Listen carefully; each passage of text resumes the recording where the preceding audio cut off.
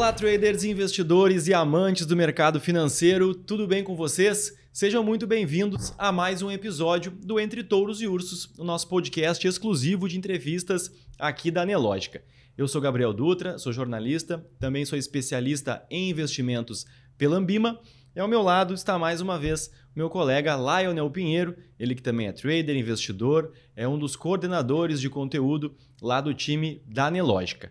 Hoje, como sempre, temos mais um convidado muito especial para a gente falar aí sobre mercado financeiro, mas também sobre estratégias de trading, sobre análise técnica. Mas antes ainda de apresentar o nosso convidado, como de praxe, eu quero dar um olá aqui para o meu colega Lionel, saber se está tudo certo. E aí, como é que estão as coisas, cara? Cara, tudo certo, feliz, acho, no, no podcast hoje. Acho que vai ser um bate-papo muito bacana, bem técnico. Acho que um papo aí que vai surfar nas duas ondas, né? Investimento e trading de uma forma bem bacana. Maravilha.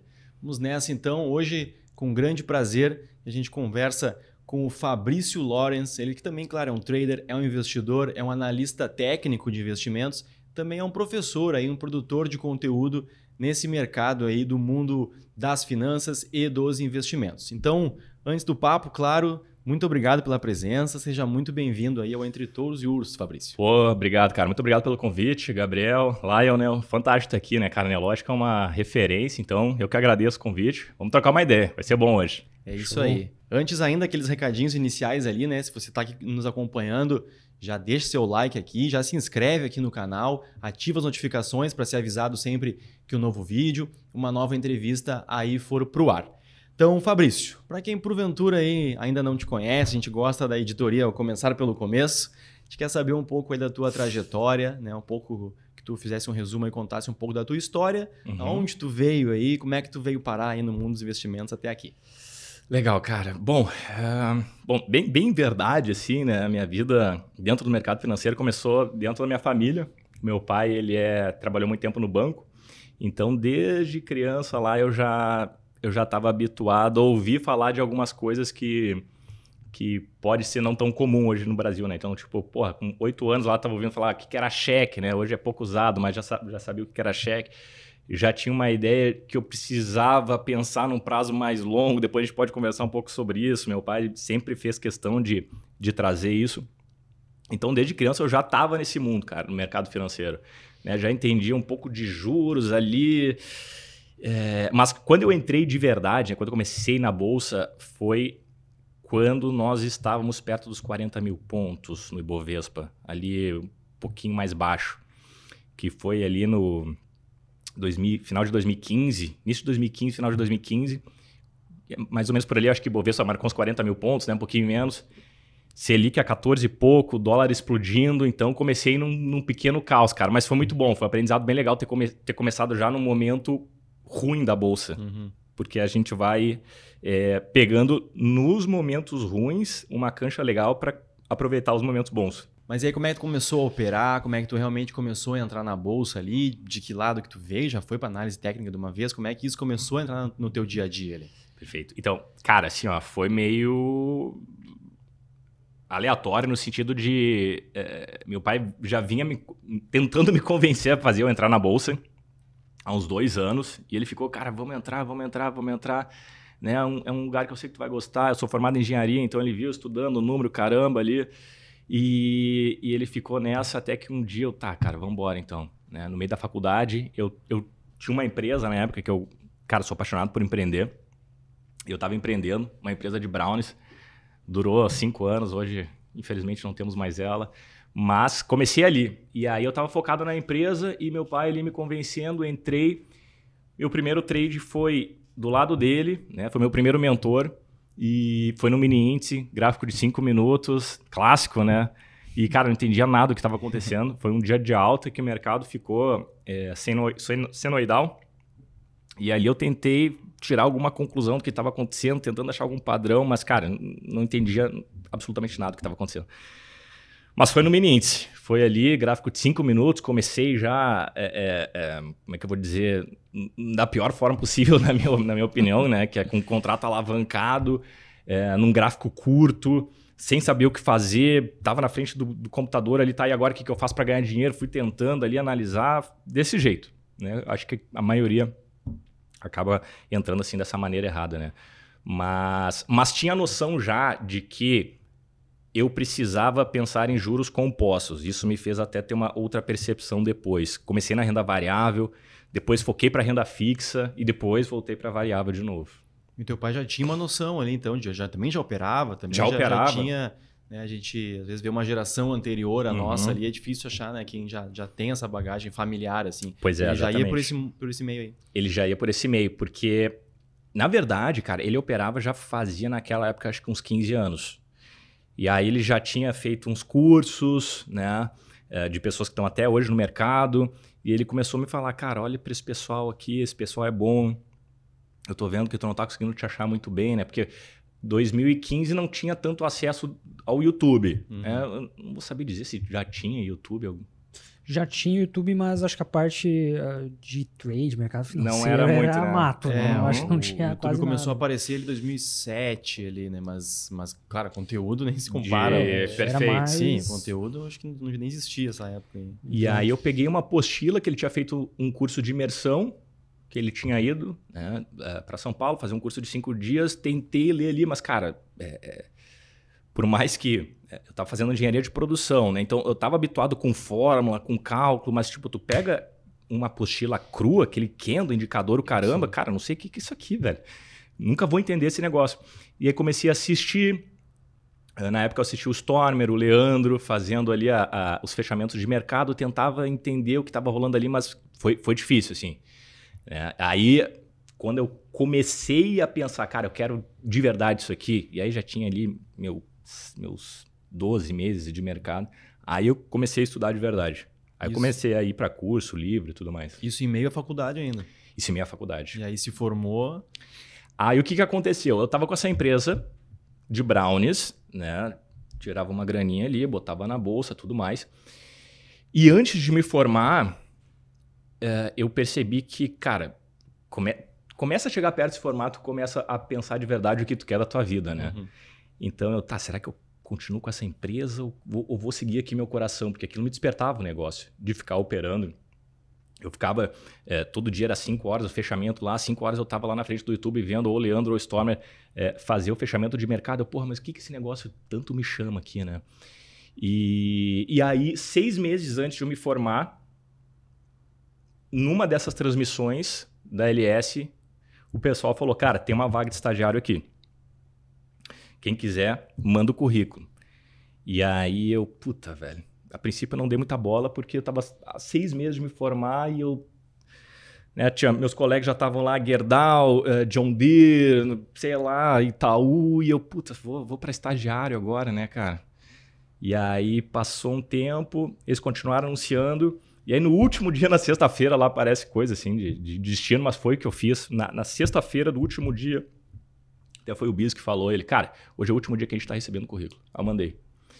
E mandei e, e, foi um processo de conversa ali entre e-mails, em que no final das contas eu praticamente convenci os caras a me contratar. Legal.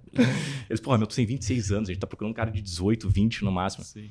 E eu, cara, mas eu quero, eu quero, eu quero, eu quero. Eu já estava mais ou menos há um ano e pouco operando, mas de maneira amadora, assim, né? Por sorte, eu consegui ganhar dinheiro nos primeiros seis meses, mas já tinha entregue tudo. E, e aí acabei convencendo os caras e acabei entrando na LS e foi ali que foi minha escola mesmo, assim. Porque dali eu, eu pô, trabalhei do lado dos caras que já estavam há 15, 20 anos é, operando, então é, foi um processo fantástico de aprendizagem. Né? Quando eu tinha uma dúvida, eu batia lá na sala do Stormer, cara, como é que é isso aqui? Ele me explicava, barará. Então foi ali que foi meu primeiro passo, assim, de que, tá, eu quero isso aqui para minha vida ou não? Decidi que sim, pô, estagiário com 26 anos, meu, vambora. Sim. É isso que eu quero. Esquece o que os outros estão fazendo, faz o que tu quer e foi isso que eu fiz. Né? E ali começou um processo. Ali foi o início, eu achei que estava resolvido, mas na verdade foi o início do, do, da dor, porque, cara, é, é, até o cara começar a entender como o mercado funciona, até começar a realmente fazer algo consistente, mesmo ali, demora, cara. E nessa demora. posição que tu entrou, tu entrou já para fazer uma área de análise ou foi para a parte dos cursos lá que eles ofereciam? Eu fui para a área de, de análise. Uhum. Fui na parte da análise e, posteriormente, acabei indo para os treinamentos também. Sim. Mas no começo ali, entender como uma, uma casa de análise funciona, né? Como uma casa é, é, tem a parte ética que é extremamente importante, né? Como uma casa dá os calls para os clientes. Pô, tem casa que não são todas que são éticas. Cara, vamos, vamos passar só o que tem de bom de verdade aqui, né? Não vamos ficar fazendo os caras operarem que nem louco. Vamos uhum. passar só o filé do mercado. Isso foi muito importante, porque me ensinou a entender quais são os trades que vale a pena. Porque quando tu lida com o dinheiro do outro, na minha percepção, cara, é mais importante que o teu dinheiro. É, o, o, meu dinheiro, se eu fizer cagada, a responsabilidade é minha. Sim. Já era. Agora, fazer é, uma cagada com o dinheiro do, da outra pessoa, que foi tu que sugeriu aquele call, puta, daí, meu. Aí eu comecei a ver a importância de, de fazer aquilo. Porque, por mais que a responsabilidade seja do cliente, né? Por mais que a responsabilidade seja da pessoa que clique no botão, eu tenho consciência disso. Mas o cara confia no profissional que está falando para ele, uhum. né? Então, assim, é, a responsabilidade. É, eu digo assim, ela é praticamente meio a meio ali, né, cara? Tua profissão é essa. Né? Tua profissão é dar um call bom. É fazer os clientes entenderem o mercado. Eu acho errado o cara que está ali só por é, pegar um call, por exemplo, mas tua função é fazer os caras entenderem o mercado. Então, faz isso de maneira excelente, né? Dá só, dá só o melhor. Se o melhor não funcionar, aí fechou. Não tem o que fazer, faz parte do mercado errar, né? Uhum. Daí tudo bem. Mas foi um processo bem bom nesse sentido. Acho bacana esse ponto, acho que a gente até conversou já com outros analistas, assim. Uh, sempre toco nesse ponto que é importante essa noção da responsabilidade, assim, que, de, de passar um, bom call, que nem tu comentou, né? Uh, mas também legal a parte que dessa divisão, né? Eu acho que ainda, né, a pessoa que está seguindo, está seguindo a operação, está seguindo o trade, está seguindo esse call, tem que também ter noção, porque às vezes um contato assim com, com os clientes, com outros traders, com outros investidores, até colegas assim, né?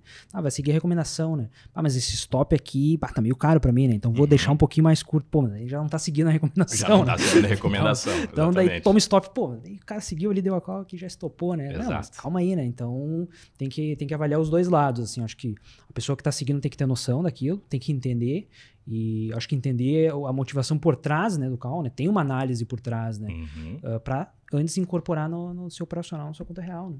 Isso aí. Não, e até a questão assim, ó, se eu tenho uma tese de que se o cara não entende do que se trata aquele investimento, seja trade ou investimento, ele dificilmente vai conseguir segurar da maneira correta uhum. se a coisa estiver indo errado, se estiver indo mal. Né? Segurar um trade que está dando certo é mais fácil, por... não é tão fácil assim como como se pensa para quem não opera, né? Porque segurar um trade de 50%, 80% é difícil, mas mais do que isso é difícil quando ele começa a ir contrário a ti.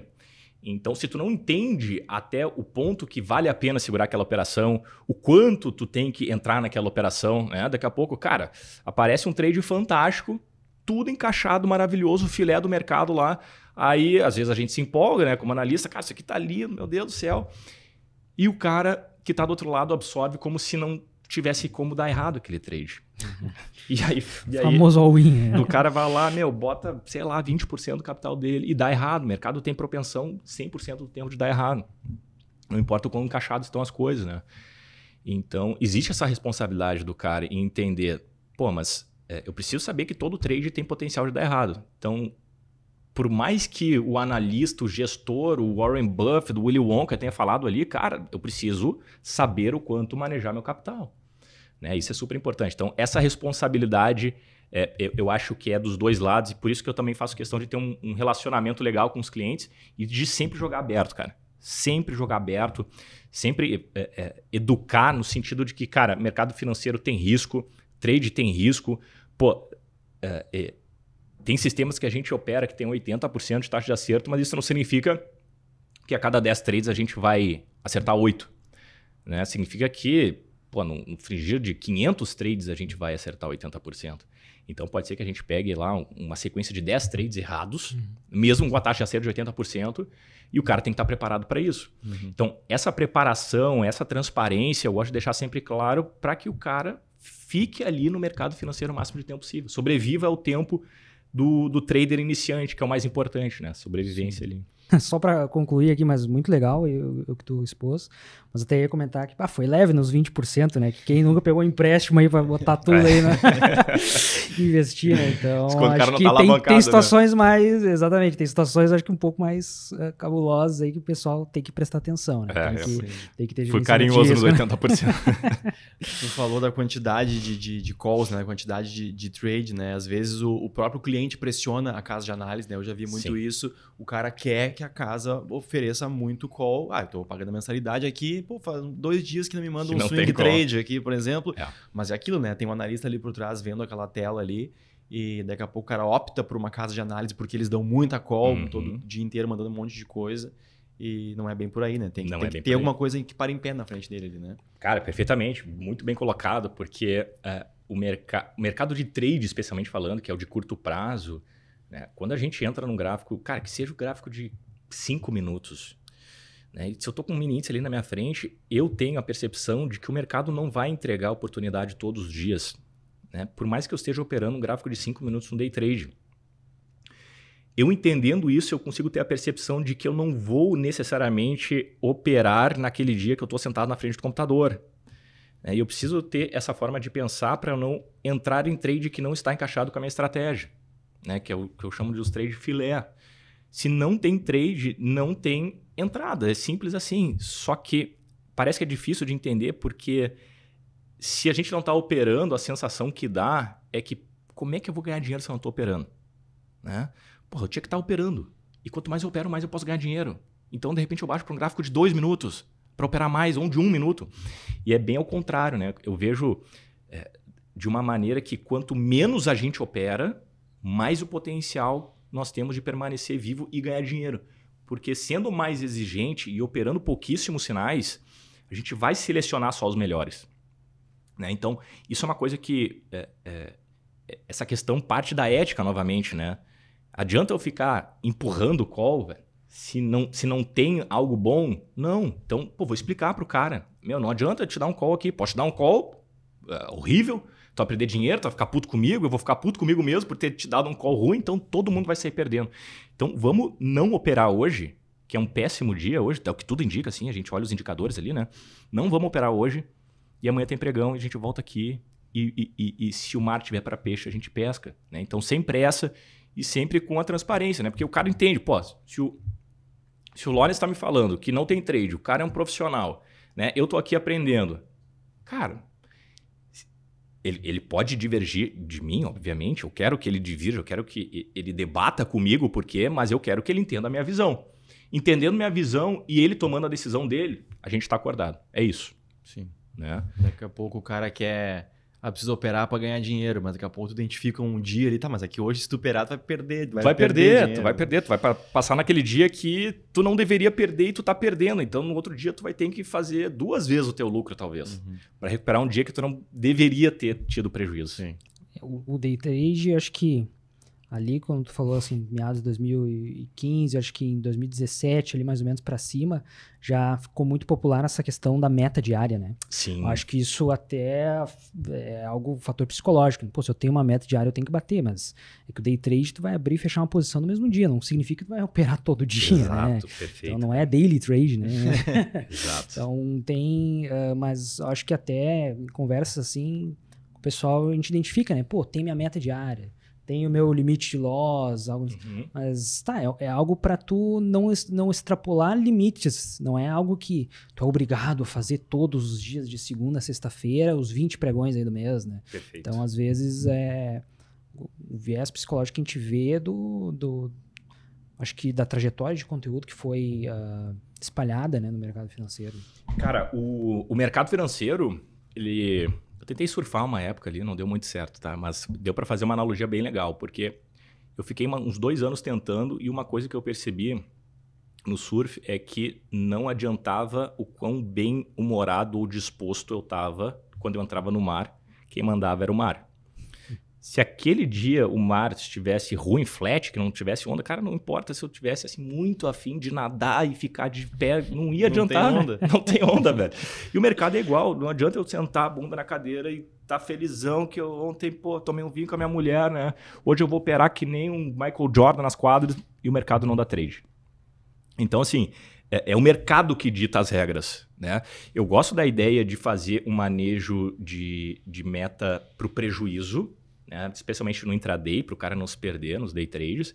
Assim, cara, 1% no máximo é o, que eu, é o que eu gosto de como regra. Mas limitar os ganhos eu já não gosto muito.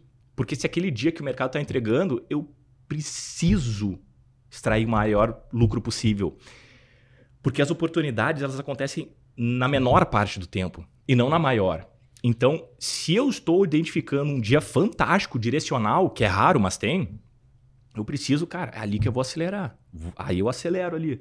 Pô, pego uns 7, 8 trades, que para mim num dia é muito. Né? Normalmente eu opero ali 3, 4 trades no máximo. Então, então essa eu gosto de trabalhar não com meta assim fixa, né, mas com um direcionamento. Pô, o mercado tá ruim, não opero. Se o mercado estiver dando oportunidade e eu tomar uma quantidade de stops máxima, eu encerro meu dia. Pode ser que eu não esteja operando muito bem, pode ser que o mercado esteja dando sinais falsos. Então, eu gosto de estipular uma meta de prejuízo, não vou nem chamar de meta de prejuízo, né? um limite de prejuízo. Uhum. Mas se tiver bom, eu gosto de deixar rolar. Né? Operando sempre a parte da manhã, de tarde eu, eu, eu sou menos propenso a operar. Bacana. Eu tenho ouvido isso sempre assim, da, né, do, dos traders, que na parte da manhã ali é a parte que ele mais mais opera ali, tem mais negócios, mais volatilidade? Por que, que de manhã que acontece mais a coisa ali? Perfeito. É, se a gente olhar ali, assim, tem duas respostas para isso, né? Objetivamente falando, a gente tem mais volume financeiro, mais número de negócios e mais volatilidade.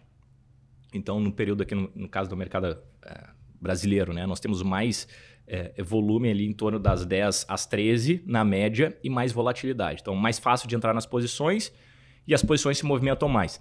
Na parte da tarde já é bem mais difícil de a gente ter essa mesma volatilidade da manhã.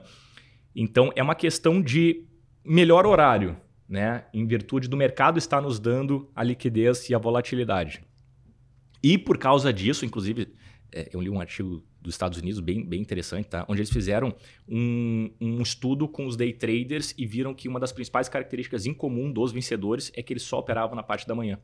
Né? E, isso explica uh, a questão do porquê que é melhor de manhã, liquidez e volatilidade, mas eu acho que explica também o fato do cara estar tá com a cabeça mais fria. O cara que opera de tarde, eu acho que ele talvez esteja no prejuízo em parte da manhã, uhum. aí está tentando buscar o prejuízo, já não está com a cabeça boa. O mercado já não dá é, condições boas, né? não tem tanta liquidez, volatilidade, então eu evito operar bastante, cara, na parte da tarde. É assim, sei lá, 5, 10% é na parte da tarde. Boa.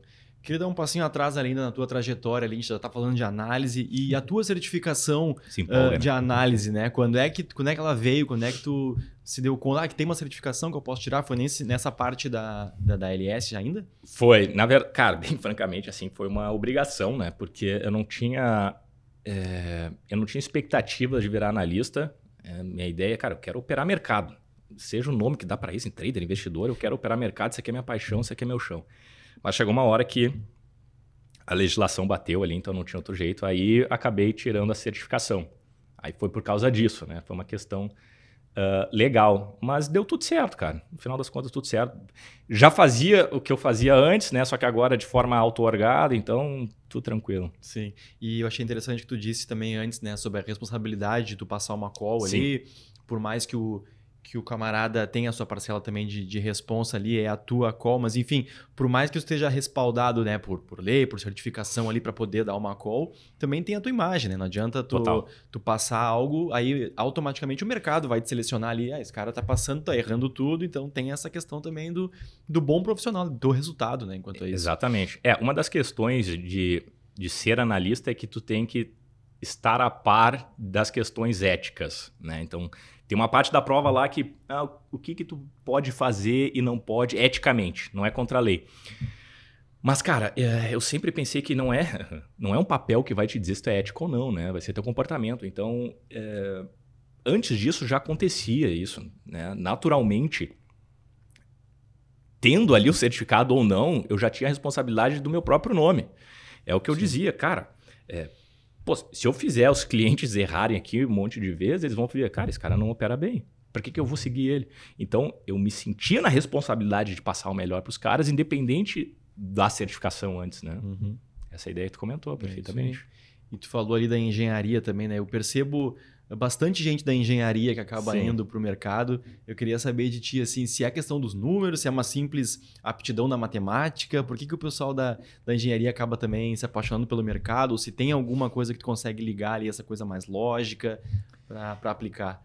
Olha, da minha parte, eu vou te dizer assim, ó, na engenharia a gente vê muita derivada, muito, muito cálculo que tem fórmulas né, que são um pouco mais complexas. A ligação que eu tive com a engenharia foi quando eu fiz um curso e vi que o mercado ele precisava de uma estratégia, uma estratégia uh, uh, objetiva, né? Que a gente podia quantificar em, em uma fórmula, para mim pareceu mais uma cadeira da faculdade. Uhum. Então eu, porra, cara, entendi isso aqui. É, é isso que eu preciso fazer para ganhar dinheiro? Então, é, ao invés de botar nos livros, eu boto no mercado. Então teve essa ligação, foi legal isso. Né? Eu fico pensando que talvez uma pessoa que não tivesse essa relação com os números e encontrasse aquela metodologia ali, mais quadradinha, né? Talvez possa ter alguma dificuldade. E aí se sinta assim, puta, não, cara, não, como é que eu vou entender esse negócio? Parece uma coisa muito distante, né? Então, esse link da engenharia, matemática, física, tem muita gente também, né? Eu acho que acaba sendo um dos porquês. Mas, cara, eu sempre gostei muito de número. É, eu tive que me aprimorar, inclusive, com a relação das pessoas, porque eu entendia muito mais de número do que pessoas. Claro, isso quando a gente era criança, mas é, é, foi mais, foi mais é, fluido essa, essa, essa transição entre engenharia e mercado. Uhum. E aí, evoluindo aí na trajetória, na carreira, né? Uh, como é que chegamos até aqui, né? Como é que tu começou a produzir teus próprios conteúdos, desse, desse tempo aí da LS para cá, agora eu vou ter as minhas páginas, vou ter os meus cursos, os meus produtos. Como é que isso foi virando a, a tua profissão realmente? Perfeito. Da mesma maneira né, que a gente tem a responsabilidade de dar o call, a gente tem a responsabilidade de educar certo. Isso é uma coisa que, quando eu estava em processo de aprendizagem, era, uma, é, era algo que me preocupava, porque no momento em que eu escolhi alguns mentores para mim, eu precisaria saber se aquilo era de verdade, se aquilo parava de pé. Então, e a gente sabe que, infelizmente, o mercado como não, não são todos que é, é, ensinam aquilo que praticam ou, ou que, de fato, é, existe uma ciência lógica por trás daquilo, né? Então, me preocupava muito em ser veracidade a, as informações que eu estava tendo, até porque eu ia colocar meu dinheiro ali. E na hora de nós é, é, passarmos o conteúdo, esse é, esse é um dos mantras que eu tenho. Cara, eu vou passar só aquilo que, de fato, eu sei que foi testado, foi averiguado, eu sei que funciona. Né? Então, a, a, responsabilidade de dar um call ou uma informação, ela tem que ser a mesma. Né? Eu vejo isso em vários, em vários setores diferentes, né? na, edu, na, educação, na nutrição. Né? As pessoas têm que, passar, têm que ter a responsabilidade de passar a informação. Então, durante seis anos eu fiquei dentro da LS e fiquei absorvendo isso. Fiquei aprendendo isso mais para mim, internamente. E aos poucos eu fui vendo o que, que eu conseguia é, passar adiante essa informação, né? Que conforme a gente vai evoluindo, vai passando por educação, de forma responsável. Né? Então, é, o fato de eu ter um cara, que é o Stormer, ali do meu lado, que já tinha passado por vários momentos ruins de mercado, né? que é onde faz os, os, os bons traders mesmo, e de ter esse acesso com ele, cara, o que, que tu acha disso aqui? É, o que, que tu acha daquilo? Tem uma pessoa que é, me auxilia, uma pessoa que eu confie, que eu sei que está ali já há muito tempo, me ajudou bastante a saber que tipo de conteúdo seria interessante eu passar. Comecei lá dentro, né? Então, no momento que eu saí, foi, foi uma transição do que eu já estava fazendo lá dentro, mas comecei a fazer por conta a partir dali. Uhum. Cara, uh, acompanho o teu conteúdo, assim, e sei que tu tem uma linha de um trade bem objetivo, né? Uhum. Uma análise bem objetiva. E hoje, acho que a análise técnica, ela começa... Eu, é, pode ser que eu esteja errado, né? Mas acho que ela começa, assim, uma leitura mais subjetiva, né? Que, pá, tem os padrões, ok, mas... Uh, quando a gente está aprendendo análise técnica, padrões gráficos, tu, tu tem muita margem né, de subjetividade, uhum. né? E eu vejo o teu conteúdo, cara, é setup, estratégia, olha o candle, vê ali a sombra, vê isso, tem um gatilho. Uh, como é que tu, tu, tu, começou nessa, nessa, nessa análise técnica mais objetiva ou foi uma migração? Né? Como é que foi essa evolução uh, do teu operacional? Perfeito. Foi, é, é, foi exatamente assim. Ó. Eu comecei com uma fórmula Né? Eu comecei com uma estratégia muito objetiva, isso foi bom, porque eu entendi que ali era só mais uma cadeira de faculdade, então nesse sentido foi bom. E eu comecei conseguindo fazer dinheiro no mercado. Isso foi interessante também, porque eu conseguindo, eu, aplicando aquela estratégia e ganhando dinheiro, eu vi, tá, é isso que eu preciso fazer. Só que o que, que acontecia? Eu precisava estar na frente do computador. E eu via que aquela estratégia poderia ser automatizada. Então eu pensei, cara, vou botar no robô isso. Né? Então ali foi meu primeiro contato com, com robôs. É... Só que por alguns motivos não deu certo, tá? Uma questão ali da, da empresa mesmo, no meu caso. Tinha falhas na, nas ordens e tudo mais. E aí o que, que acontece? Dentro do mercado, para quem é apaixonado por isso mesmo, para quem é curioso, o cara acaba viajando pelas vertentes uh, de tempos em tempos. Então, pô, nos primeiros seis meses eu estava completamente é, objetivo, depois eu fui para robô, depois eu passei para subjetividade. Hoje, se eu tivesse que uh, responder para alguém o que fazer, eu diria, cara, começa pelo, pela parcela mais objetiva possível do mercado. Né? Começa com padrões que tu sabe que, pô, desses padrões aqui, 10 eu vou acertar, é, 8 eu vou errar, né? Tem a taxa de acerto, tem o payoff, tudo certinho. E depois tu pode ir para a parte subjetiva. Eu vejo é, as pessoas falando mal da parte subjetiva, mas na verdade é, o que, que eu entendo é o seguinte: quando tu vai aprender uma, uma nova atividade, é natural que tu saiba como ela funciona, né? as regras básicas, né? Pô, seja poker, basquete, qualquer coisa, vai alguém e te dá assim, cara, essas são as regras básicas. Tu fazendo isso aqui, tu vai conseguir jogar poker, tu vai conseguir uh, chutar uma bola, seja o que tu estiver aprendendo. É. Depois disso, é natural que a pessoa começa, comece a entender o seu perfil e comece a, a, a dar seus toques pessoais. Né? Então, é, eu, eu, tinha um amigo que ele começou a pintar, pintar quadros assim. E, cara, no início, o que, que ele aprendeu? O que, que o professor dele ensinou? As técnicas né, de, de geometria, de profundidade, de sombra. Isso aí, o professor, cara, isso aqui é o básico. Né? Tu tem que aprender isso aqui primeiro. Depois tu pode botar o teu toque.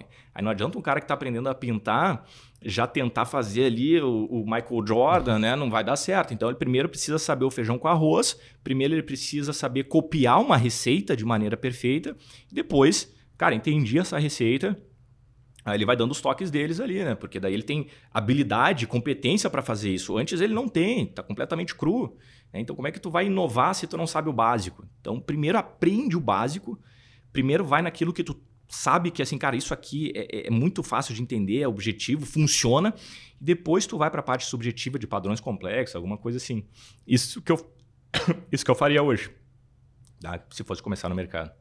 Pegando esse gancho aí de, de do básico primeiro, né?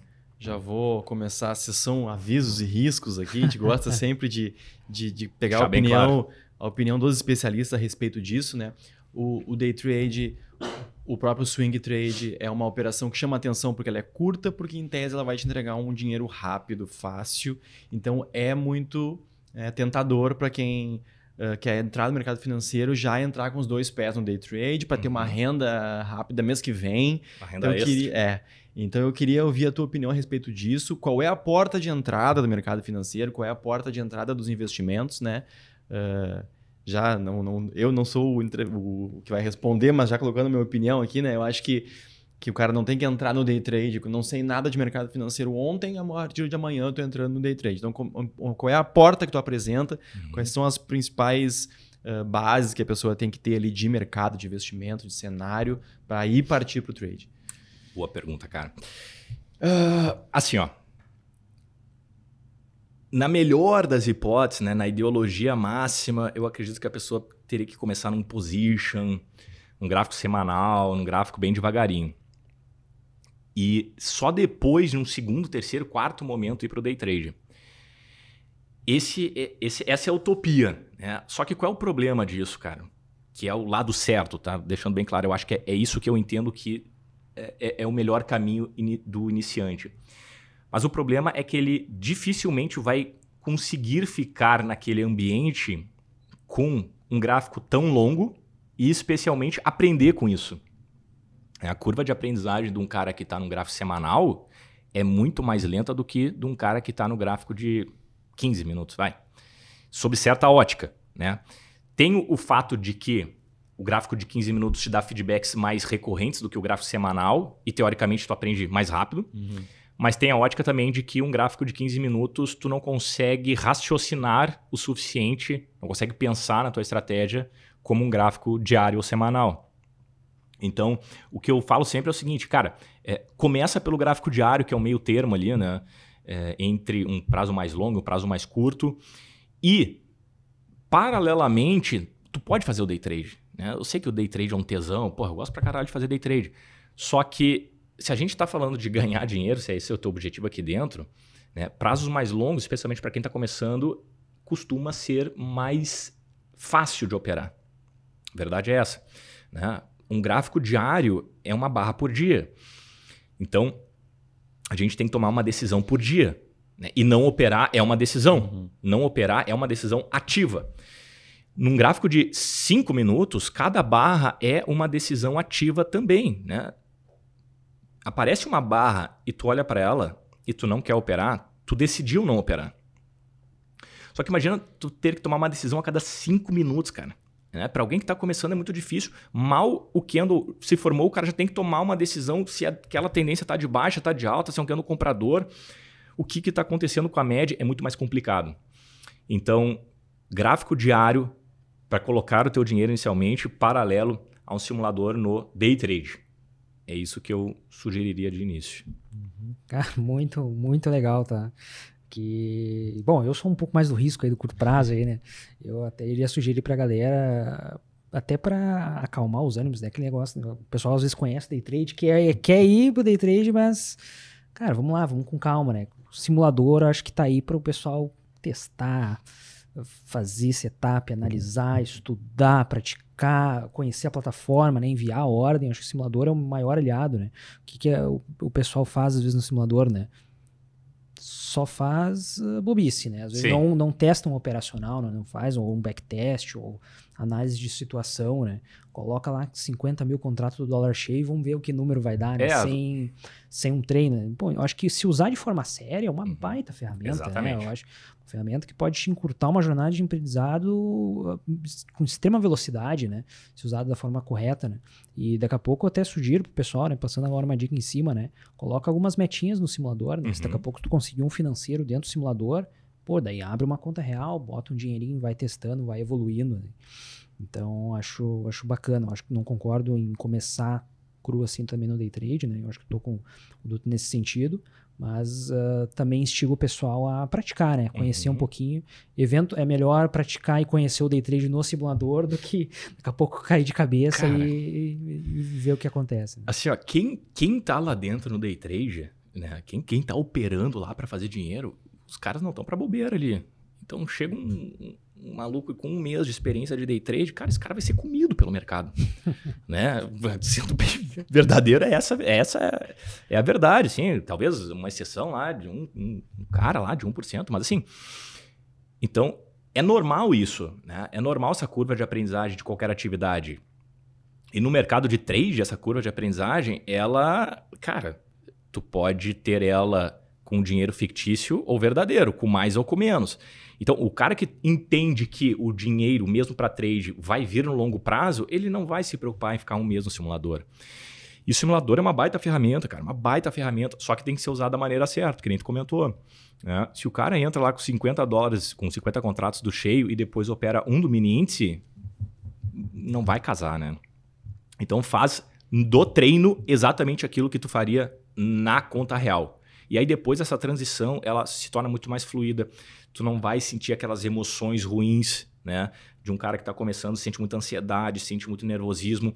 Porque se tu ficar um mês ali no simulador, dois, três meses que seja, tu te acostumar com aquele ambiente, depois, para ir para conta real, se tu tá fazendo tudo certinho, cara, é um botão, né? E hoje em dia, porra, o Prost permite isso, não era assim, não foi sempre assim, né? Hoje tem essa ferramenta fantástica, mas não foi sempre assim. Então, é muito fácil esse, esse, essa transição, sabe? Por isso que a gente tem que ter paciência no início e entender que mesmo para o mercado de trade é no longo prazo que a coisa acontece, né? Uh, Profit, bem lembrado, né? Quem está nos acompanhando aqui, o link para fazer o teste grátis do Profit vai estar aqui na, na descrição. Mas, né, termina o papo aqui, acompanha até o final, depois vai lá clicar no, no teu teste lá.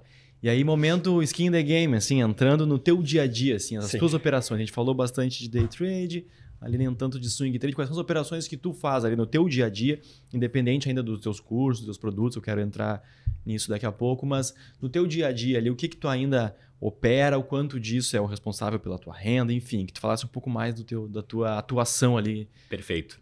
Cara, então hoje eu tenho essa parte, eu tenho meu lado educacional muito forte, muito representativo, né? Então eu acabo é, optando por operações mais longas, né? Mas é, B3, ações, swing trade, eventualmente day trade em ações. É, hoje as ações ali é onde realmente é o meu chão. né? não não não estou mais tão preocupado em ficar fazendo trade todos os dias. Estou mais preocupado em pegar as melhores oportunidades. A gente já tem uma bela ideia de quando vai ser um dia bom, de quando vale a pena operar no day trade. Né? Então não são todos os dias. É, entendendo que eu quero fazer isso nos próximos 20 anos, tudo bem eu perder um, dois, três pregões, uma semana de pregão, tranquilo. Então, bem tranquilo, bem lento e também focando muito no longo prazo no sentido de investimentos. né? Eu tenho uma carteira de investimentos hoje onde 70% dela é destinado para renda variável. Estou naquele momento de, de mais apetite, naturalmente. Mas entendo que tem que ter a parte da renda fixa também, ainda mais no Brasil, segundo país maior é, juros real né, do mundo. Então, a gente tem que ter uma parcela, penso eu, no mínimo de 30% ali, que é o que eu tenho hoje. E, e aí, nessa parcela de 70%, eu distribuo entre ações pagadoras de dividendos, entre, entre ações que têm é, potencial de, de crescimento, que não está tão focado no dividendo agora, né? mas posteriormente. É, alguma coisa de small caps, mas, cara, majoritariamente na minha carteira são empresas já robustas, né? que, que, que têm uma inércia altista já há bastante tempo, é, que tem lucro nos últimos cinco anos, que tem no seu, no seu retorno é, sobre o investimento maior do que a Selic, né? idealmente até maior do que os 10% mesmo no momento de Selic baixo. Então, eu tenho algumas, um, alguns critérios para comprar essas ações que eu quero levar até ali meus 50, 60 anos, penso eu. Tá? Então, realmente são é, para prazos bem mais longos.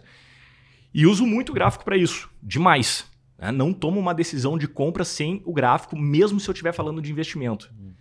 Então, eu vou para um gráfico semanal, olho um IFR14, gosto muito dessa ferramenta para identificar as empresas que estão é, com melhor preço.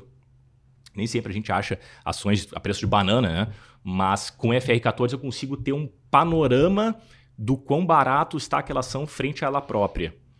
Né? Mesmo não olhando para indicadores fundamentalistas para tomar essa decisão. Então, uso gráfico, cara, seja para fazer trade nos dois minutos do mini índice, né? quando a louca lá tiver uma coisa muito boa, até meus alunos ali, volta e meia a gente faz. No mini índice, nos dois minutos, é raro, mas volta e meia tem.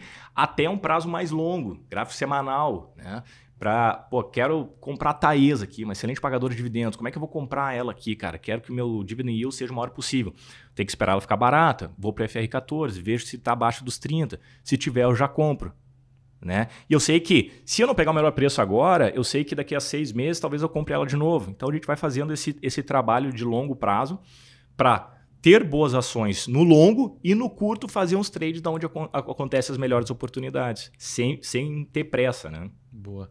Vou entrar num outro tema também, aproveitando isso que tu falou, que eu sempre me repito aqui, quem nos acompanha também já deve ter ouvido quatro, cinco, dez vezes essa pergunta, mas os teus trades ali, os eventuais uh, trades, mesmo que seja um position ali um pouco mais longo, enfim, um swing trade, o lucro disso tu vai reinvestir na tua carteira e na, e na tua construção de patrimônio por longo prazo, né? Eu acho Exatamente. que também tem outra uh, questão que eu espero que o pessoal tenha decorado aí, que uma operação de curto prazo não quer dizer que tu vai tirar aquele dinheiro no curto prazo, né? Então, Exatamente. uma coisa é um day trade, um swing trade, não é porque tu vai gastar, pagar o boleto ali da, não, da, da não, faculdade, comprar pão na padaria no dia seguinte com todo o teu lucro do dia anterior, né? Então, como é que tu faz esse balanço assim daquilo que tu aproveita de lucro das operações de curto, compondo, né, a, a grande construção do teu patrimônio?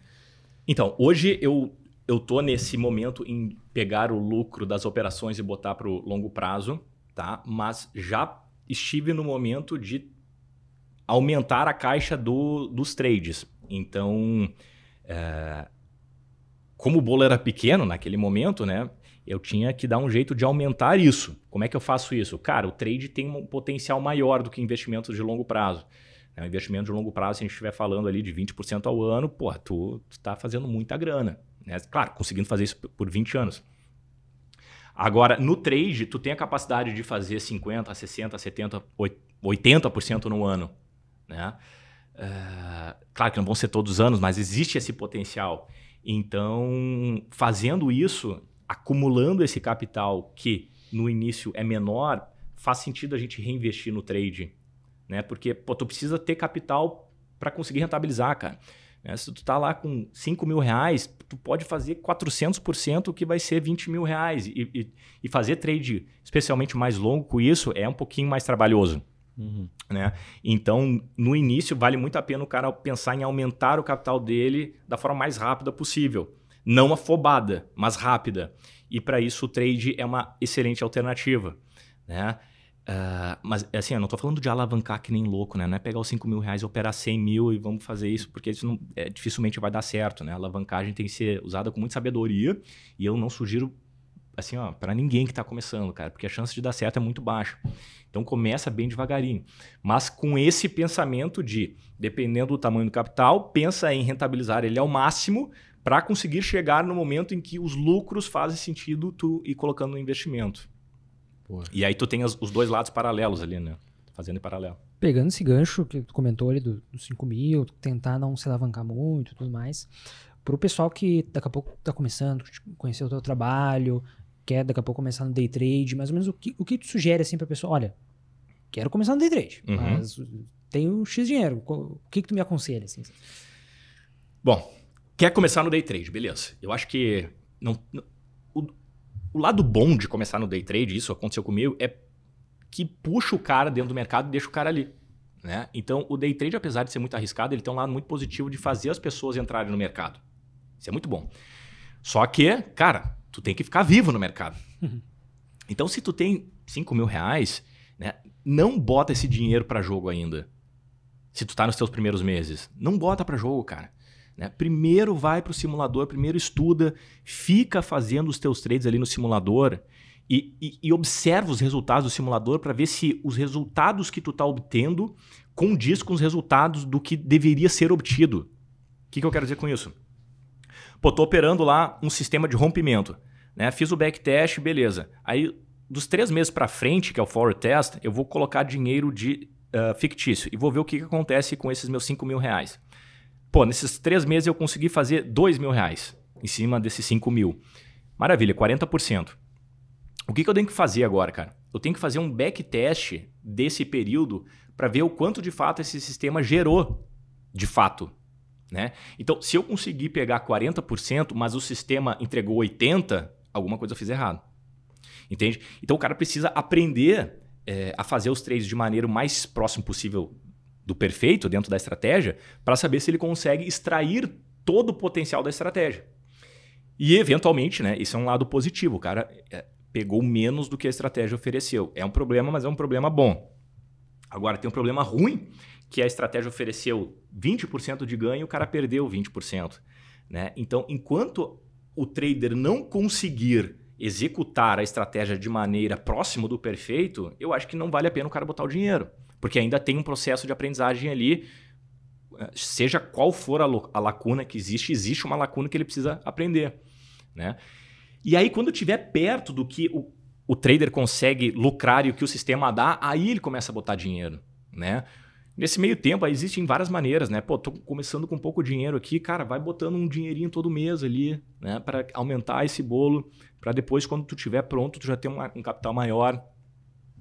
E especialmente começar em ativos pouco voláteis. Finalizando a resposta, ativos pouco voláteis, que são as ações, né? comparado com o mini índice, pelo menos. O mini índice é um ativo extremamente volátil, é um, é um, um ativo extremamente é, competitivo. Né? As pessoas, os, as instituições, os traders operam muito esse ativo e a margem de ganho é muito baixa, né? e é um ativo mais errático. Então, eu gosto de pensar num ativo bem mais tranquilo, que dá tanto dinheiro quanto que são as ações. Então, cara, começa por ali. Né? É, é, é mais fácil de testar, é mais tranquilo e dá o mesmo dinheiro do mini índice. Né? Os 100 reais do mini índice é o mesmo 100 reais da, da, da QTL, cara. Então, eu sei que existe uma dificuldade do porquê que as pessoas operam mais o mini índice, né? Mas é, essa barreira do mini índice para as ações, que é, é uma pequena barreira, cara, que vale a pena o trader dar um jeito de, de, de, de pular ela, sabe? Que é o sentido de quantos lotes eu vou operar, né? os custos é um pouquinho mais alto, mas assim, ó, é tão pouco, cara, que ao meu ver, não faz sentido começar pelo mini índice no início, que é um ativo muito difícil de ser operado. Até hoje. Beleza.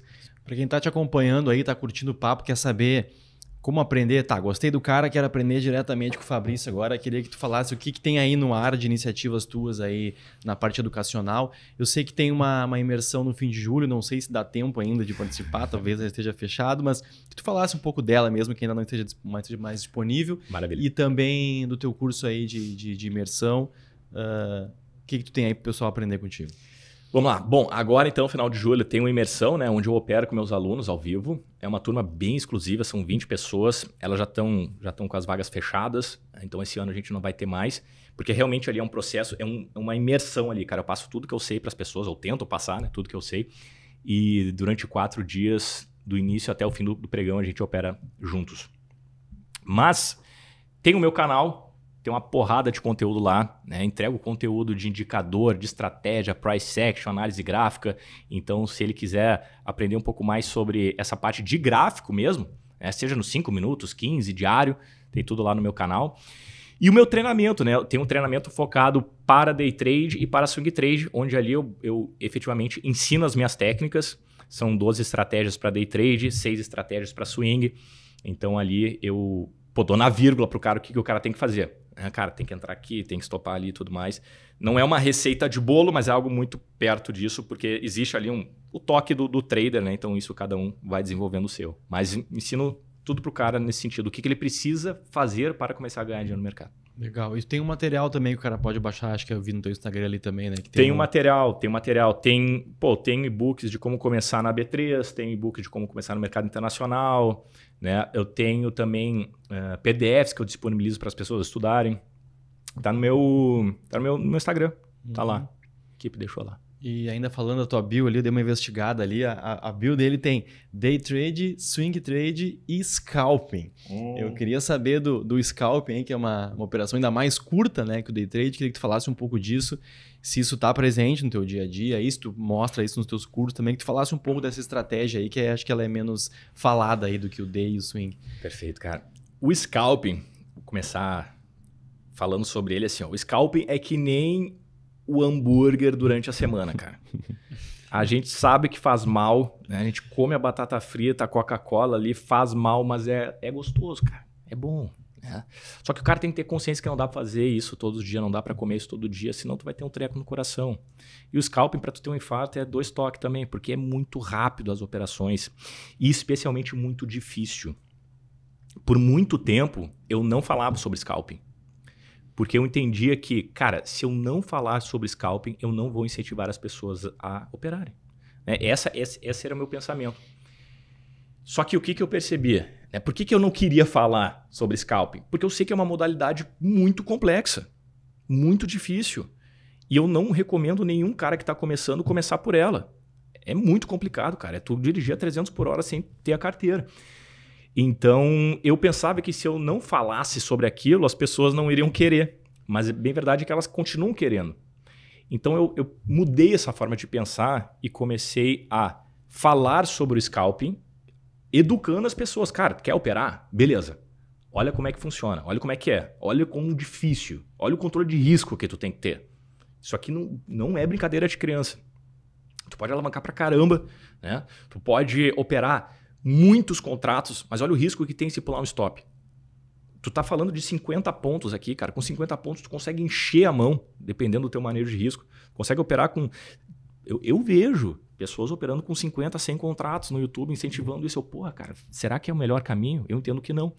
Porque se um trader iniciante vê a sua operação de 50 pontos de stop, com o stop sendo pulado, ela entra em desespero, dependendo da quantidade de capital que tem ali. Né? A gente ouve umas histórias bem tristes, cara, na verdade, de pessoas perdendo centenas de milhares de reais. Já peguei aluno assim que me procurou. Lores, me ajuda? Perdi 240 mil reais aqui, que era pro meu apartamento, fazendo scalp. Eu, Porra, velho, né? Então, é, é uma realidade que eu não incentivo, mas passei a falar porque eu vi que não adiantava eu ficar quieto, né? Era pior. Eu, cara, eu tenho, eu posso tratar isso aqui de duas maneiras, né? Ou me isentando disso, ou dando o meu melhor educacionalmente. E foi o que eu estou fazendo desde então. Falo sobre scalping, né? É, dou a direção para as pessoas, cara, se tu quer scalping, ó, se tu quer comer hambúrguer, então faz assim, ó. Pelo menos não te mata, não come todo dia. Vai, vai devagarinho, sabe? E, e tá dando certo.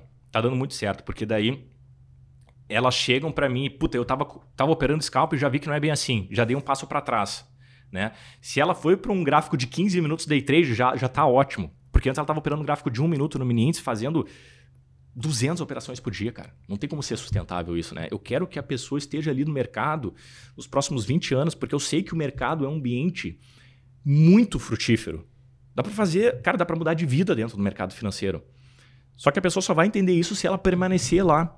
E o scalping é um moedor de trader, né? Então, uh, uh, se eu avisar ela o quanto antes isso, eu dou uma oportunidade de ela aprender e ficar ali por mais tempo e eventualmente mudar de vida, que é o que a maioria das pessoas querem ao entrar no mercado financeiro, né? Acho que o scalping é uma é uma tentativa às vezes de muitos traders de fugir da parte que eles não conseguem segurar um trade.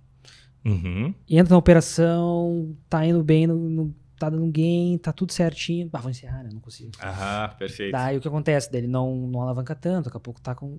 ganha pouco. Mas daí o que, que a gente. O outro comportamento, né? Segura no loss, né? A galera Segura vira corajosa no loss, daí perde muito. Não, vou pro scalping, né? Porque eu já ganho meu dinheiro já de cara aqui, né? Uma operação mais curta. Uhum. Só que o scalping uh, mais alavancado ainda, não, não dá para ter margem para erro, né? Eu acho que Perfeito. gerenciamento de risco tem que estar tá 100% afiado e, e olha lá, né? Eu, eu conheço ali pessoas que fazem scalping muito bem, mas pô, tem anos de mercado, né? Exato. Já, já passaram por várias dores, tem mais capital às vezes, né? O problema é a pessoa não conhece o mercado, cai no mini índice, vai fazer scalping, faz alavancada e não tem capital na corretora, né? Então, é uma, é uma receita de bolo para explodir uma conta. Né? Eu acho que toda. Tu trouxe muito bem esse ponto, eu acho que toda modalidade dentro do mercado é válida. Né? A pessoa só tem que entender o risco que ela está tomando em fazer aquilo. Pô, tu tem lá o, o, o, Medina surfando, o cara fazendo variar o flip em cima da onda, sim, mas o cara é um profissional que está fazendo isso há 15 anos já. Né? Tu tá um mês no mar, cara, tu vai tentar fazer isso, tu pode te machucar, tem coral embaixo do mar. Então, o problema não é a modalidade, né? O problema é a forma que as pessoas encaram aquela modalidade. E claro, a modalidade acaba uh, gerando mais oportunidades para a gente errar, né? É mais fácil um cara acelerar uma Ferrari do que um Fusca. Então, acaba sendo mais fácil o cara se esborrachar na Ferrari Sim. do que o Fusca, né? Mas... E falando dessa estratégia ainda uh, do scalping, assim, na, na prática, assim, né? o cara consegue aplicar uh, as mes os mesmos indicadores, as mesmas técnicas de, uma, de um day trade, mas num período mais curto, ou ela tem uma, uma outra técnica específica para isso?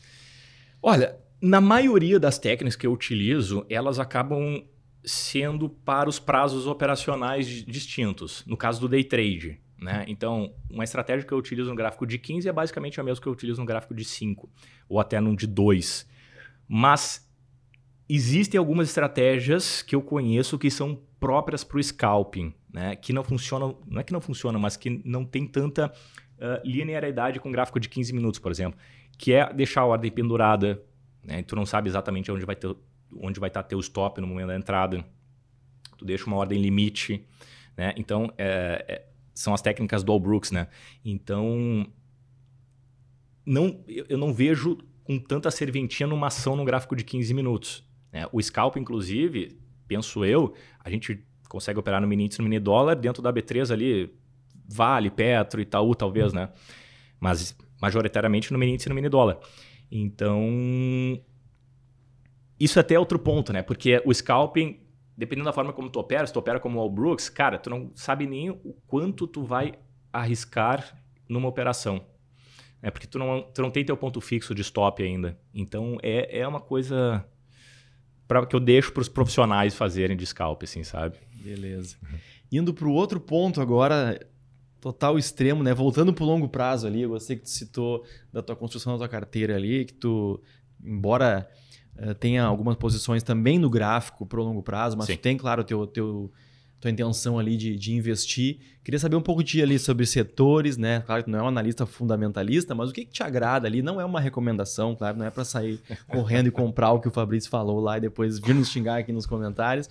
Mas que tipo de setores tu gosta? Que tipo de empresas te, te agradam? Daqui a pouco até se, se os dividendos são uma coisa que estão presentes na tua estratégia ali. Como é que tu monta a tua carteira ali, momento investigativo da tua carteira? Vamos lá. Se, tanto modalidades quanto setores.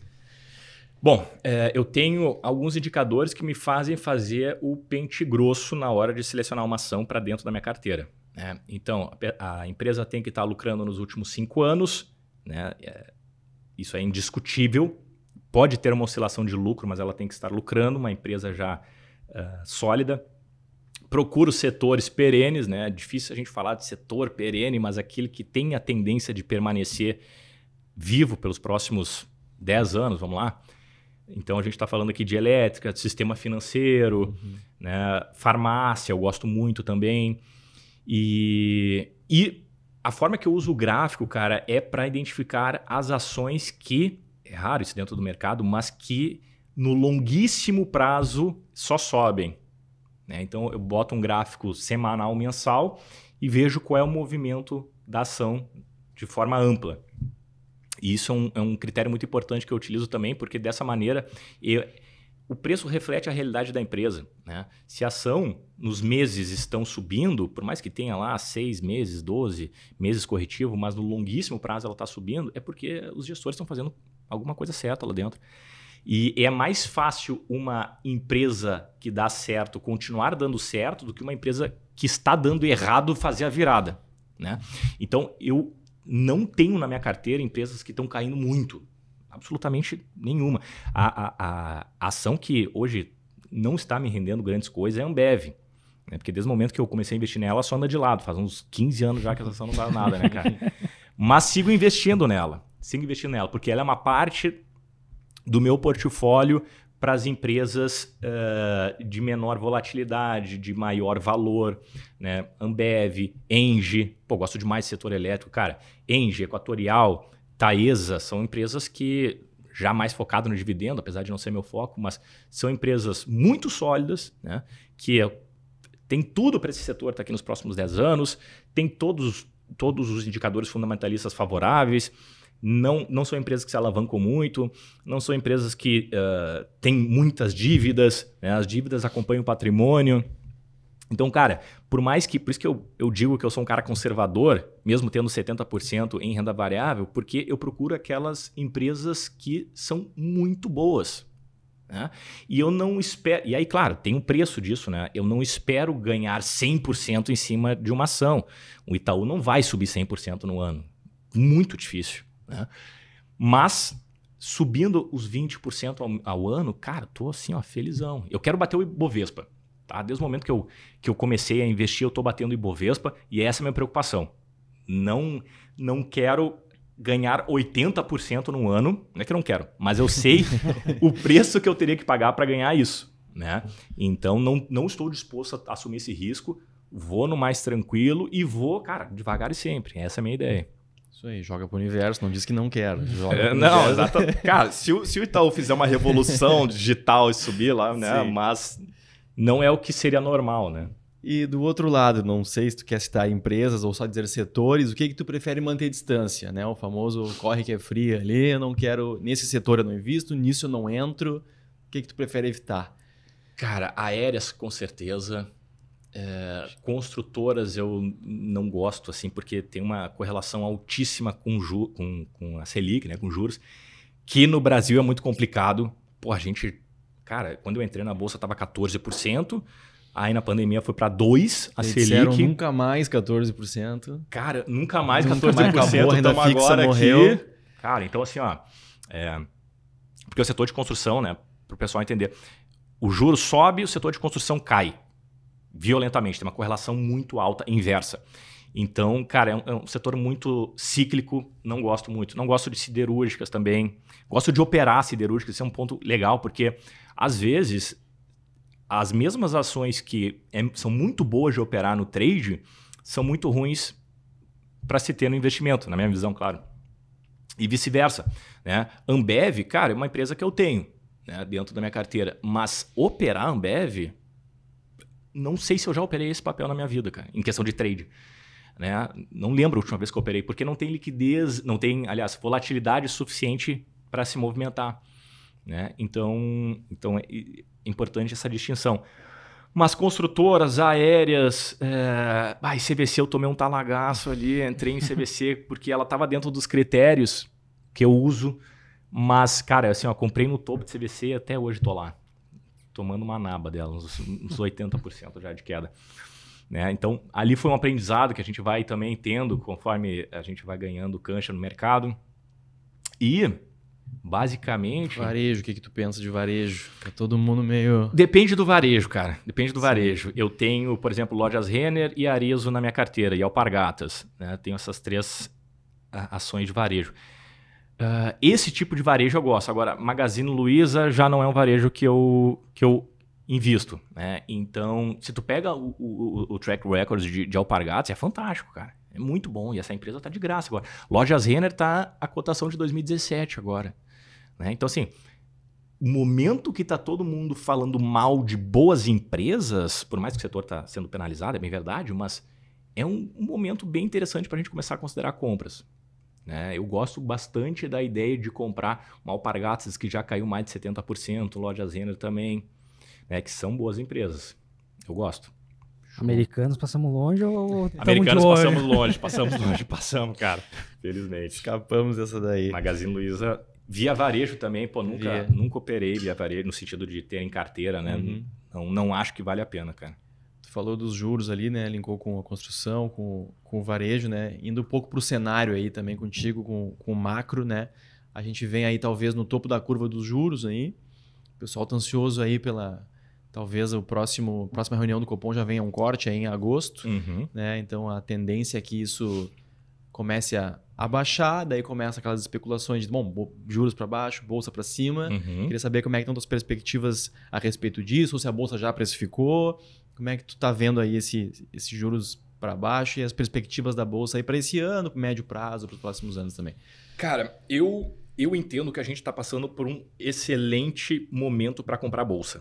Né? A janela que nós estamos agora, ela permanece muito interessante para comprar bolsa. É, é verdade que o mercado já está subindo um pouquinho. Se a gente for analisar os days mais longos ali, day 25, 27, 29, a gente já vê uma queda bem importante. Né? Então, o mercado precificando a queda nos juros também para um prazo mais longo, o que favorece a bolsa agora. Certo? A bolsa já subiu sim, mas o, o, potencial que ela tem, especialmente se ela conseguir romper algumas resistências importantes ali, cara, é gigantesco. Né? É gigantesco. Isso é uma coisa que eu, eu, eu venho falando há muito tempo. Até se a gente olhar indicadores fundamentalistas, estão muito interessantes, cara. Né? A, a grande parte das ações estão interessantes para comprar. E isso é uma sugestão de que o mercado está barato. Então, e é mais fácil ganhar dinheiro numa tendência do que num mercado lateral, né? Eu vejo dessa maneira. Então, se o mercado está com todos os indicativos, certeza a gente nunca tem, mas com todos os indicativos de que ele vai dar uma bela rasgada nos próximos meses, cara, esse, essa é a janela para entrar. É mais fácil, porque mesmo se o cara não, não, não tem ainda toda a expertise necessária para o mercado, ele consegue fazer dinheiro no mercado mais direcional, uhum. né? Que é o que o Ibovespa está prometendo para as próximas semanas. Vamos ver se vai dar certo. E isso que tu disse também, né? O cara uh, entrar no mercado mais autista, assim, a gente vê muito isso acontecendo, né? Sim. As pessoas entram no mercado que tá ali até tijolo voando, uhum. o cara faz qualquer coisa, eu sou um gênio, tudo que eu faço dá certo, joga tudo ali e quando a coisa vem abaixo, tira, né? Exatamente. Expulsa a galera do, do mercado, né? Tu, tem, tu, tu vê muito isso acontecer? Vejo demais, vejo demais. E esse, por isso que eu me coloco em risco nesse momento ao falar, cara, compra em bolsa, eu sei o risco que eu tô tomando no sentido de se a bolsa não subir, porra, o que, que o Lawrence está falando então? Né? Mas é, a bolsa, cara, é um jogo de errar menos e acertar mais em questão de médias de ganho e perda, né? não, não em, em frequência. Então eu sei que agora o potencial do ganho da pessoa que entrar é maior do que o potencial da perda, pelo menos é, é o que tudo indica, certo? Então eu alerto as pessoas para entrar nesse momento porque, cara, depois que a bolsa, se a bolsa estourar e bater lá no 130, 40, 50, não adianta tentar comprar depois, né? É tentar abafar esse viés de retrospectiva que o ser humano tem em achar que o futuro próximo vai refletir o passado próximo e entender que não, é o contrário. No mercado, o passado próximo não, não necessariamente, muitas vezes, é, na menor parte do tempo, vai refletir o futuro. Né? Então, quando a gente tem um mercado que foi ruim, né? 2020 foi espetacular, mas desde então vem truncado, vem caindo e agora começa a dar os primeiros sinais de alta. Esse é o momento, cara. A gente já passou pelo pior, o mercado já deu sinais de que ele está revertendo, sinais robustos. Então, não, tamo, não, não estaríamos pegando fundo? Não, mas esse não é o nosso objetivo. Nosso objetivo é pegar uma parcela da alta. E essa parcela, tá, ao que tudo indica, está acontecendo agora. Uhum. Nessa época da pandemia ali, do circuit breakers, né, daquela loucura toda ali mais recente, né, nossa uhum. última grande crise ali, o que, que tu estava fazendo naquele momento? Como é que foi para ti ultrapassar aquilo ali? Tu estava com teu público em volta de ti? O que, que rolou ali naquele primeiro, primeiro semestre ali, né, de, de 20? Foi tenso, cara. Foi bem tenso. Ali foi a, a minha segunda passagem de circuit breaker, assim, foi... Só que foi violento porque eu acho que não, ninguém tinha pego tanto o circuit breaker uhum. num curto espaço de tempo, assim. E, e, cara, tava todo mundo, tu, tu sentia o ar da tensão das pessoas, assim, porque, pô, eu vi o meu patrimônio oscilando 30% para baixo, né? Em questão de um mês, acho que não deu isso. Então, assim, e eu tinha que passar ainda segurança, eu tinha que passar tranquilidade. Né? Eu falava em voz alta para os clientes e eu falava para mim também ao mesmo tempo ali, cara. É, segura. é o meme aquele da máscarazinha sorrindo assim, o cara chorando por trás. Né? Exatamente. Né? Então a gente tava ali, todo mundo no mesmo barco, né? Mas, é, de novo, o que, que eu fiz naquele momento foi falar o que eu estava fazendo para mim. Né? Então eu sabia que, cara, tem coerência nisso. Se não der certo, pelo menos a gente está junto. Sim. Né? E felizmente deu certo. Mas foi bem, bem, bem difícil. Né? A gente não conseguia nem operar o mercado. O mercado saía de leilão, entrava em leilão, abria já em circuit breaker. Teve dias que já abriu abaixo de 10%. Então não tinha nem negócio até, sei lá, 10, uh, 10 horas da manhã, 11 horas da manhã. Às vezes o Avista abria 11 e meia, meio-dia. Né? Então foi uma época bem, bem importante. E... Mas o lado bom dessa história toda é que gerou uma oportunidade muito interessante para as pessoas que estavam a ponto de bala de entrar no mercado. Né? Eu percebi que muitas pessoas estavam querendo entrar no mercado, surgiu essa oportunidade de queda violenta, de 40%, 50%, e ali a galera entrou comprando e, e, ganhou muito dinheiro. Isso foi muito bom, cara. Né? No sentido, é, pegando o copo cheio dessa história. Muita pessoa física ganhou muito dinheiro e muito institucional perdeu muito dinheiro. Então foi um momento em que é, a história mudou um pouco. Normalmente é o contrário. Né? Mas, mas foi um momento assim de aprendizagem absurdo. Porque no momento em que tu aprende a jogar no pior terreno, cara, quando chega o terreno de sol ali, água fresca, é mais tranquilo, uhum. né? Tu consegue usufruir daquele, daquele, daquela situação se tu já passou por uma situação muito ruim. Ô, Lourenço, e queria te perguntar também a tua visão sobre cripto. Hoje a gente vê ali alguns, uh, até analistas mesmo, comentando uhum. que, pô, a simetria tá bacana, tem... Uh, projetos aí vindo aí, tem o próprio halving do Bitcoin aí, acho que ano que vem ou não, 2024 talvez. Então, não sei se tu gosta um pouco do mercado, dá uma olhada, ou até que nem a gente estava conversando com o Stormer, né, que tem uma parcelinha do uhum. capital dele para ele não se arrepender caso exploda né, o mercado, né? Mas como é que tu, tu vê cripto hoje? Eu vejo mais ou menos nessa, nessa linha de raciocínio. Eu tenho, cara, em torno de 1,5% a 2% do meu capital em cripto. Tá? A minha visão para cripto, ela Apesar de eu entender que o trade em cripto é fantástico, porque tem muita liquidez e muita volatilidade nos ativos, isso é tudo que um trader quer, é um paraíso para o trader, o mercado de criptomoeda, mas a forma que eu lido é na filosofia. Né? Então, assim, cara, quero ter uma parcela nesse negócio, se der certo, eu quero participar dessa festa. Né? Mas sei do risco. Pô, ontem, ontem ou anteontem, a Ripple explodiu mais de 60% porra, num, um ativo explodir 60%, tu, tu tem que entender que é para cima e para baixo esse negócio. Né? Então, vai botar um dinheiro, mas bota devagarinho, né, cara? Não vai, com, não vai com tudo. Mas eu gosto muito da filosofia que tem por trás do Bitcoin. Demais, tá? Eu tenho uma, uma vertente liberal que eu venho estudando ao longo dos anos e, cara, para mim faz todo sentido do mundo o Bitcoin, né? a forma que ele favorece a sociedade, a forma que ele dá o poder de decisão para o indivíduo. Eu acho extremamente interessante isso. Então, então, existe uma parte não só financeira, mas de incentivar também naquilo que eu acredito enquanto sociedade. Né? E então, dispõe ali, os seis criptos, né? Aquelas que eu entendo mais interessantes, os projetos tudo mais, Bitcoin, Bitcoin Cash, Ripple, Cardano. E, e, e faço essa minha distribuição e ali eu foco simplesmente no percentual da minha carteira. Né? Se eu vejo que está subindo muito ou caindo muito, eu faço o balanceamento ali da, dessa, dessas criptos para ficar na composição no longo prazo. Lembrando também, né, na lógica temos aí o Vector, né, o primo irmão aí do, do Profit voltado para as criptos, para você operar diretamente cripto. E aí essas criptos que tu tem, tu opera direto elas mesmo, ou via algum ETF? É, é, é, as, é as coins mesmo? É as coins mesmo. Opera direto elas. Até, assim, eu, eu invisto, eu digo que eu invisto tanto quanto eu conheço, né? Conheço o mercado, gosto, sou curioso tudo mais, mas bem menos do que o mercado B3. Então, meu foco hoje são as ações, é nisso que eu, que eu acredito também, né? Então, é, é, a ideia de ter uma parcelinha pequena, mas gosto muito do mercado, cara. Gosto muito mesmo, de verdade.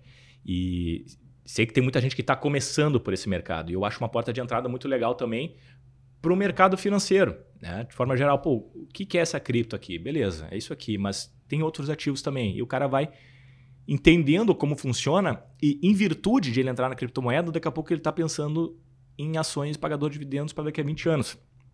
Né? Então as coisas acabam se conversando, eu acho que é completamente válido. Uhum.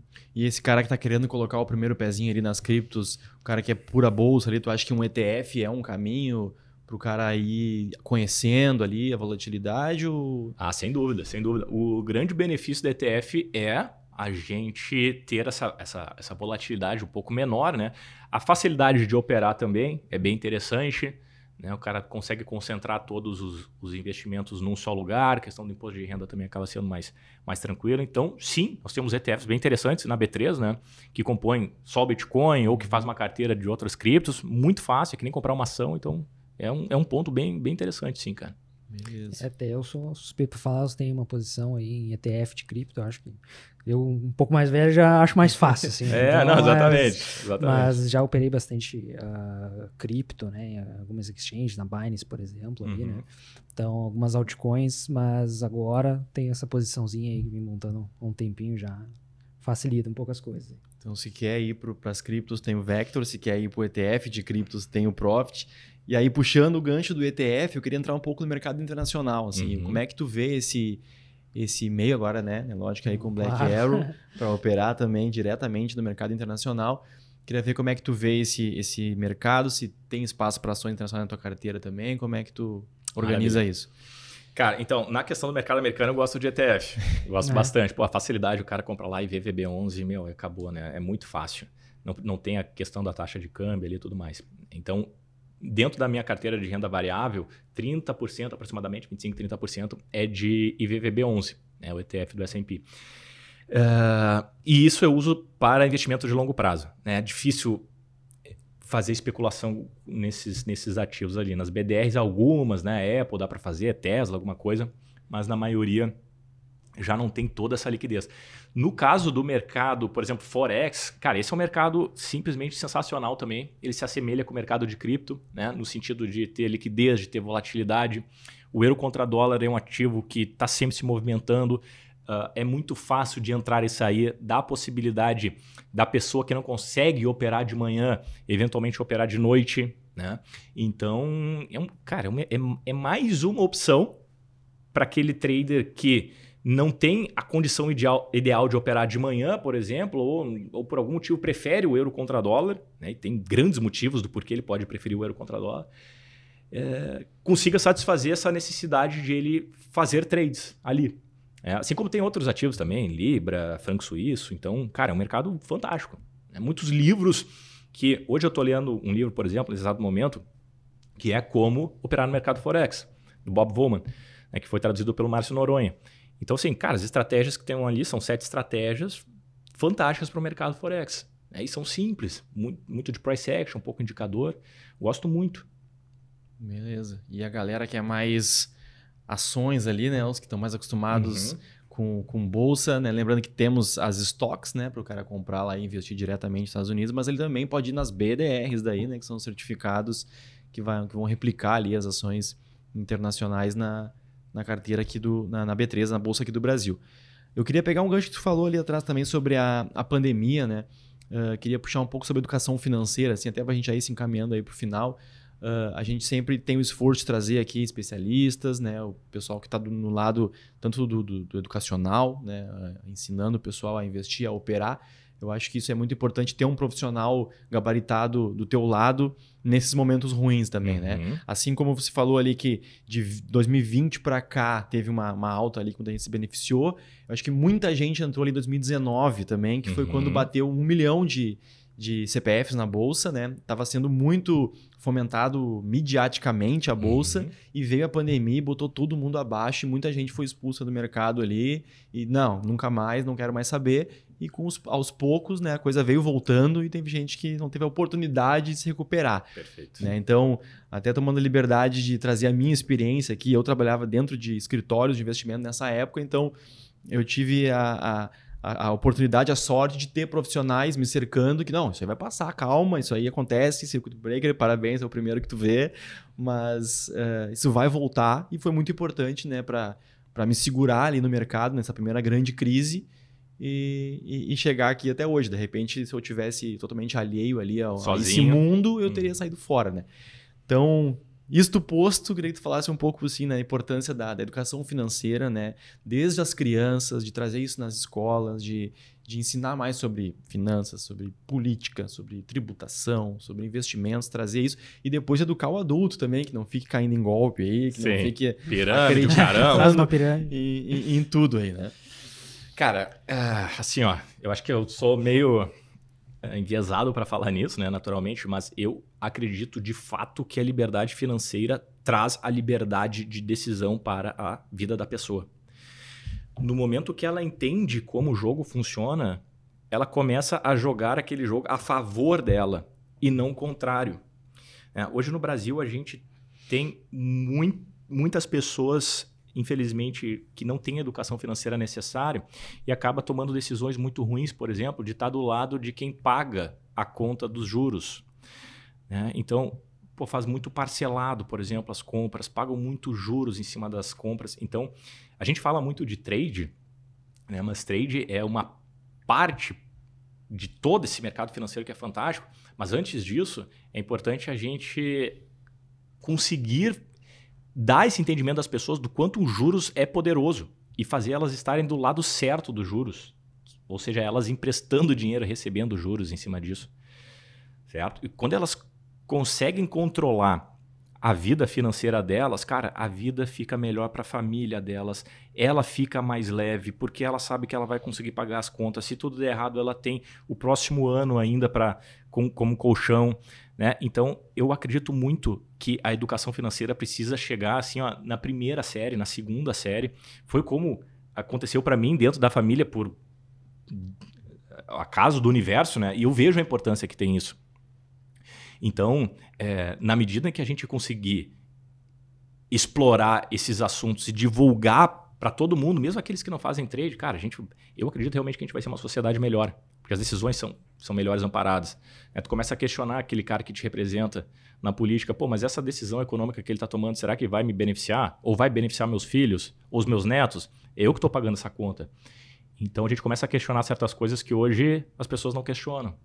Né? Por, porque acham que, pô, mas isso não participa da minha vida. O que, que tem a ver a Selic a 14%? Cara, isso não vai impactar em nada. Impacta em tudo, Sim. absolutamente tudo. Então, ir atrás disso, né? Daqui a pouco, se tem alguém nos assistindo, pô, só tá no mundo de trade, cara, expande. Né? O mundo de trade é fantástico, eu amo ele, é, é, é o meu core, é onde eu, eu nasci, eu tô hoje. Mas entender como funciona a economia, o sistema, é, é no meu entendimento, é o que te vai te fazer ficar livre, no final das contas, para o sistema jogar a teu favor. Boa. Cara, já quero começar a te agradecer, aí o tempo corre, a gente nem vê. Uh, muito obrigado aí pelos teus conhecimentos compartilhados aí, todo o teu tempo aí. Uh, quero deixar livre já aí pro Lionel se ele quiser falar mais algum tema aí que a gente não tenha abordado. Para ti também, se quiser abordar mais um tópico aí que tu acha interessante, importante, que a gente tenha passado batido. E também que tu fale depois suas redes sociais aí, tuas arrobas, para o pessoal acompanhar teu trabalho lá e continuar te, te acompanhando. Bem, lembrando que a gente vai deixar também tudo bonitinho aqui na descrição, né? Para facilitar para a galera, que a galera nos cobra, nos pede, então boa, já boa. deixa tudo prontinho. Mas, uh, Fabrício, só tenho que te agradecer. Acho que o teu papel no mercado é importantíssimo, assim, na parte da educação financeira, na parte até de uh, expor o lado positivo, assim, do trade, de ensinar a galera um trade objetivo, técnicas de análise. E fico feliz aí da parceria, que, que, que bom que tu aceitou o nosso convite para estar tá batendo esse papo aqui. Então, só tenho a te agradecer aí pelo papo de hoje. Obrigado. Pô, eu que agradeço, cara. Fantástico a conversa aqui. Uh, eu acho que nosso papel é realmente dar os pontos positivos e negativos para a galera, né? Para fazer o pessoal realmente entender isso. E quem quiser isso levar, levar com uma vida, como eu decidi lá atrás, cara, pode ter certeza que é um mundo fantástico, apaixonante demais. Eu não me vejo fazendo absolutamente mais nada do que eu faço hoje. E é, é muito prazeroso trabalhar com isso. Então, assim, caso alguma dificuldade esteja acontecendo nesse momento, caso tu esteja passando por um momento de, puta, mas cara, não sei se esse negócio tem, tem luz no fim do túnel, tô aqui só tomando toco. Cara, paciência, muita paciência, porque é simplesmente fantástico. Depois que tu passa pelas dificuldades, pelas barreiras, assim, ó, não tem quem te segure. Então, como sempre, em todas as profissões, resiliência, né, disciplina e, cara, muito estudo e muito foco que, assim, com isso é, a gente ajuda a sorte a nos ajudar, né? Então, esse eu queria deixar esse recado pro pessoal e agradecer a vocês, cara. Muito bom. Obrigado pelo convite. Sempre que quiser, estamos dispostos a conversar e trocar mais ideia. Maravilha. Obrigadão aí mais uma vez pela disponibilidade aí, pela participação. Muito sucesso aí, parabéns pelo trabalho. Então vamos aos recados finais, então, espero não esquecer nada, me ajuda aí. Descrição aqui vão ter o link, vai ter o link do Profit para você fazer o teste grátis aí. Já pode clicar agora, já acabou o papo, já pode sair clicando lá no, no link do Profit. Vai ter um link também se você quiser assinar nossa newsletter aqui com as principais informações do mercado financeiro aí durante a semana.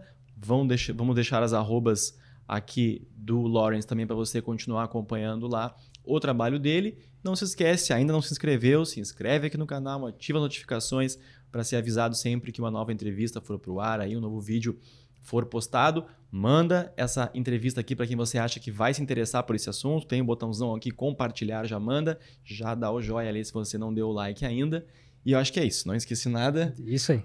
Vamos nessa então. Muito obrigado você também pela presença até aqui e até a próxima. Allez.